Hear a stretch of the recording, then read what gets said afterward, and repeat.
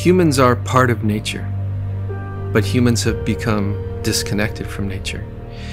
And I truly feel that the only way that humanity will come back to save the planet is by connecting to themselves. There are marvels to be discovered within our very own coastal waters that we are only just beginning to understand. The more connected I am with the ocean, the more human I become, the more sensitive and the more self aware. Because the ocean really doesn't need us as humans, but we need the ocean to survive.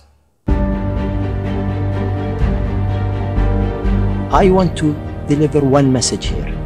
We need to act today, not tomorrow, not the day after. Our survival depends on how we act today. My aim is to see that the number of bees is increasing and my purpose is to leave the world a better place for bees and our future generation.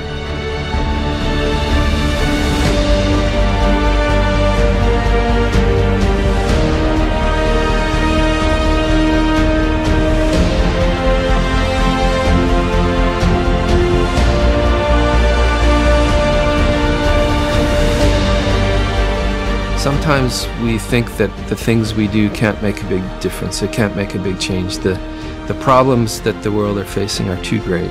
But I do now feel that action is the only way forward. So by taking personal action, these things actually do make a difference and make a change.